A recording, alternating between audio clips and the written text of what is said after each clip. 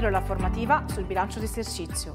Io sono Nicolaia e insieme al mio collega Claudio vi racconteremo che cos'è il bilancio d'esercizio e come è regolato. Chi sono i soggetti obbligati a redigere il bilancio d'esercizio? Quali sono le diverse tipologie e come e quando si deposita nel registro delle imprese. Il bilancio d'esercizio è il documento di sintesi dell'attività di gestione di un'impresa ed ha la funzione di rappresentare i risultati economici e patrimoniali della gestione in un determinato periodo di tempo. Infatti il bilancio deve essere redatto annualmente e deve essere redatto secondo i principi della chiarezza, ossia deve essere comprensibile a tutti e deve essere trasparente, secondo il principio della veridicità rispetto a quelle che sono le quantità oggettive e alla credibilità delle stime ed infine secondo il principio della correttezza rispetto alle norme della legge, alle norme amministrative e a quelli che sono i principi contabili. Il Codice civile dedica ampio spazio al bilancio di esercizio, a partire dall'articolo 2423 fino all'articolo 2435 ter e stabilisce innanzitutto che deve essere redatto dagli amministratori della società con periodicità annuale. Deve contenere quattro documenti distinti, ma tra loro correlati. Lo stato patrimoniale, la situazione economica, il rendiconto finanziario e la nota integrativa ma maggiori informazioni su questi documenti ce li fornirà ora Claudio. Ascoltiamolo.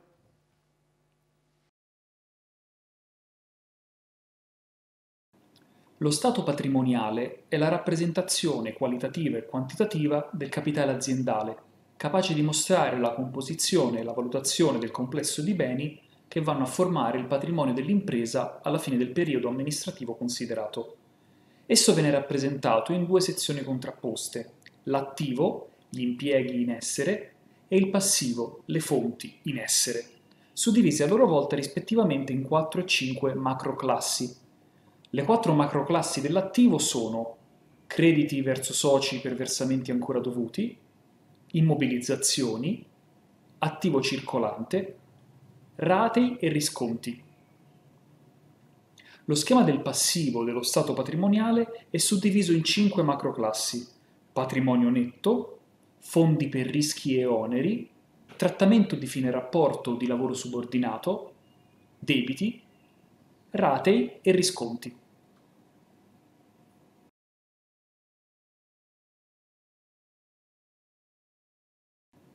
Il prospetto del conto economico evidenzia invece il complesso dei costi e dei ricavi sostenuti e conseguiti dall'impresa nel periodo amministrativo considerato. La sua struttura, in passato a sezioni contrapposte, una per i costi e l'altra per i ricavi, si configura oggi in forma scalare, secondo il criterio delle classificazioni per natura, ossia la ragione per la quale tali componenti sono sorti e imputati all'esercizio considerato, e permette di tenere separate le quattro macro aree della gestione d'impresa, ordinaria, finanziaria, patrimoniale e straordinaria.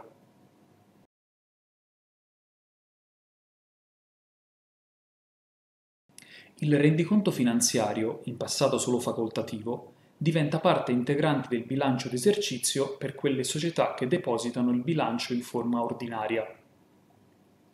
Il bilancio in forma ordinaria risulta pertanto costituito da quattro parti.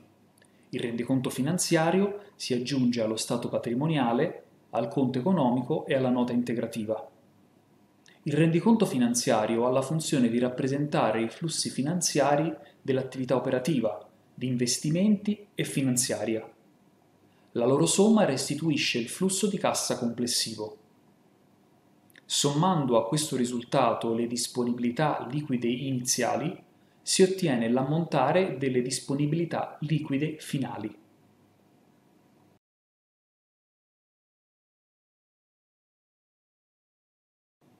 La nota integrativa è un documento che fa parte integrante del bilancio d'esercizio in esso devono essere riportate tutte le informazioni che consentono una più veritiera e corretta rappresentazione della situazione economica, patrimoniale e finanziaria della società, quali ad esempio l'illustrazione dei criteri contabili adottati, l'indicazione delle informazioni, dei dettagli e delle motivazioni relative all'iscrizione di alcune voci dello stato patrimoniale e del conto economico e altre informazioni di varia natura. Grazie Claudio per questi approfondimenti. Vediamo ora quali sono le diverse tipologie di bilancio d'esercizio a seconda del volume d'affari delle imprese. Innanzitutto abbiamo il bilancio in forma ordinaria, che è quello redatto dalle società quotate in borsa. Abbiamo poi il bilancio in forma abbreviata, che viene redatto dalle piccole imprese, ossia da quelle imprese che nel primo esercizio o successivamente per due esercizi consecutivi non abbiano superato due dei seguenti limiti. Totale dell'attivo dello Stato patrimoniale 4.400.000 euro. Ricavi delle vendite e delle prestazioni 8.800.000 euro. Dipendenti occupati in media durante l'esercizio 50 unità. Il bilancio abbreviato è composto dallo stato patrimoniale, il conto economico e la nota integrativa, ossia non è previsto il rendiconto finanziario. Infine vediamo il bilancio delle microimprese. Sono considerate microimprese le società che nel primo esercizio o successivamente per due esercizi consecutivi non abbiano superato due dei seguenti limiti totale dell'attivo e dello stato patrimoniale 175.000 euro, ricavi delle vendite e delle prestazioni 350.000 euro, dipendenti occupati in media durante l'esercizio 5 unità. Il bilancio delle microimprese può essere composto dunque soltanto dallo stato patrimoniale e dal conto economico. Sia le piccole imprese che le microimprese possono comunque decidere di depositare il bilancio in forma ordinaria.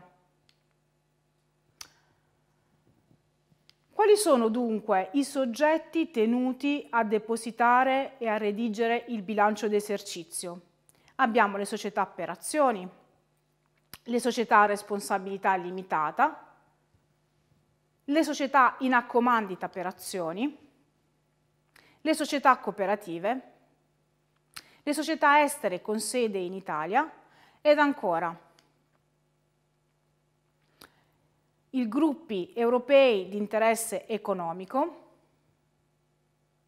i consorzi con qualifica di confidi, le aziende speciali e istituzioni di enti locali, le start-up innovative ed infine le piccole e medie imprese. Ma quando si deposita il bilancio? Innanzitutto i soci devono approvare annualmente il bilancio entro 120 o 180 giorni dalla data di fine esercizio ed entro 30 giorni dalla data di approvazione l'amministratore provvede al deposito dello stesso presso il registro delle imprese. Ovviamente il deposito della pratica di bilancio presso il registro imprese deve avvenire con una pratica telematica la quale deve contenere il file di bilancio in formato XBRL, il verbale di approvazione dei soci, nonché tutti gli altri documenti previsti dalla normativa. Tutti questi file devono essere firmati digitalmente dal legale rappresentante o dal professionista incaricato. Ma facciamoci raccontare da Claudio che cos'è il bilancio in formato XBRL e che cos'è la tassonomia. Il bilancio XBRL è il formato con cui il bilancio deve essere depositato al registro delle imprese. L'XBRL, acronimo di Extensible Business Reporting Language, rappresenta uno standard informatico internazionale che consente di depositare il bilancio al registro delle imprese in formato elaborabile, rendendo i dati immediatamente fruibili con la garanzia della loro ufficialità derivante dalla diretta responsabilità dell'impresa che li ha depositati. Con il decreto del Presidente del Consiglio dei Ministri del 10 dicembre 2008 si è riconosciuto il linguaggio XBRL quale formato obbligatorio per il deposito del bilancio. Il file XBRL non può mai essere omesso, tranne nei casi in cui l'esonero sia espressamente previsto dalla normativa. Il bilancio in formato XBRL viene prodotto dai più comuni software. Anche le Camere di Commercio mettono a disposizione uno strumento di base per la predisposizione del bilancio in formato XBRL, la sua validazione e la sua rappresentazione in formato PDF o HTML. Questo strumento può essere utilizzato per la redazione dei bilanci di esercizio in forma ordinaria, abbreviata e microimpresa. La tassonomia XBRL dei bilanci di esercizio è una classificazione e descrizione di voci contabili condivise da istituzioni e imprese per favorire una omogeneità di valutazione aziendale. La versione della tassonomia da utilizzare per redigere il bilancio in formato XBRL e la relativa documentazione sono disponibili nel sito dell'Agenzia per l'Italia Digitale e nel sito XBRL Italia. Grazie Claudio per queste spiegazioni. Vediamo ora come è possibile richiedere il bilancio di esercizio. Innanzitutto è possibile richiederlo direttamente agli sportelli della Camera di Commercio, a soggetti abilitati, quali ad esempio gli studi di commercialisti o di sbrigo pratiche, direttamente sul portale del registro imprese. Inoltre, il titolare o il legale rappresentante della propria impresa possono scaricare gratuitamente il proprio bilancio dal cassetto digitale dell'imprenditore sul portale impresa.italia.it. Inoltre, prima di richiedere la copia di un bilancio è possibile visualizzare sulla visura storica se un'impresa ha depositato o meno il bilancio. Infatti, nella sezione Storia delle modifiche è possibile verificare uno se il bilancio è stato depositato e poi possiamo verificare appunto il numero del protocollo del bilancio depositato, la data del deposito e anche la data dell'atto.